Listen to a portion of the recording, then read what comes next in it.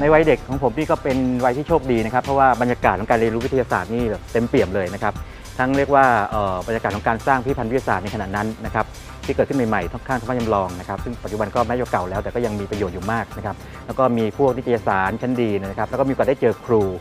นะครับแล้วก็อีกหลายอย่างเลยที่มาประกอบกันนะครับทำให้มีความสนใจแล้วก็ความสนใจตัวเองเนี่ยสามารถเติบใหญ่ขึ้นมาได้ เด็กนี่คงจะสนใจวิทยาศาสตร์ทั่วไป น่าจะสนใจ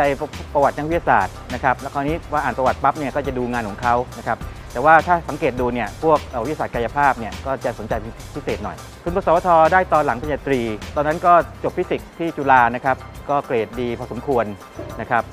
ก็มีทุนที่แบบมาจากพสวทเป็นทางเลือกหนึ่งนะครับมา ก็คิดว่ามันน่าจะตรงขั้นตรงกับเราพอสมควรก็เลยเลือกไป ผมเรียนวัสดุศาสตร์นะครับ แล้วก็เป็นเฉพาะลงไปก็เป็นโลหะวิทยา นะครับมันก็จะอยู่ก้ากึ่งระหว่างวิทยาศาสตร์กับวิศวกรรมนะครับ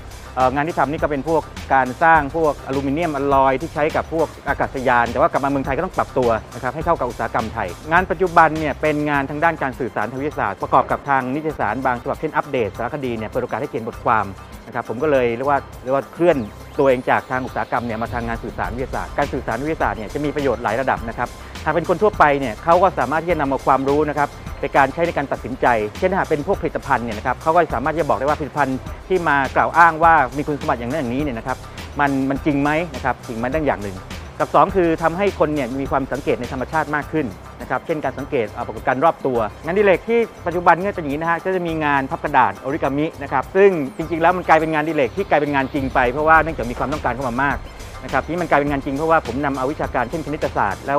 วิทยาศาสตร์และวิศวกรรมเนี่ยเข้าไปจับกับงานพับกระดาษ ทำให้เห็นมุมมองใหม่ว่าการพับกระดาษไม่ใช่แค่เป็นงานศิลปะต่อไปแล้วนะครับแล้วก็ปัจจุบันก็จะมีเรื่องของเมฆนะครับชวนคนดูเมฆและท้องฟ้านะครับซึ่งไม่ใช่แค่ดูจินตนาการ แต่ว่าเราเชื่อมโยงกับวิทยาศาสตร์เชื่อมโยงกับวัฒนธรรม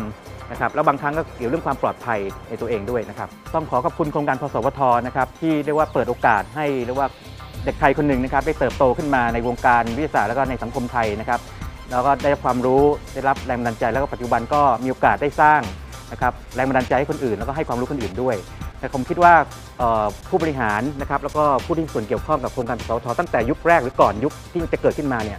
มีวิสัยทัศน์ที่ยาวไกลมากเลยนะครับเรียกว่าหลายสิบปีเลยมองล่วงหน้าว่าการพัฒนาคนเนี่ยเป็นสิ่งสำคัญมากๆ แล้วก็ต้องใช้เวลาแล้วก็มีความมุ่งมั่นในการที่จะทำให้โครงการนี้ดำเนินได้อย่างต่อเนื่องจนถึงปัจจุบัน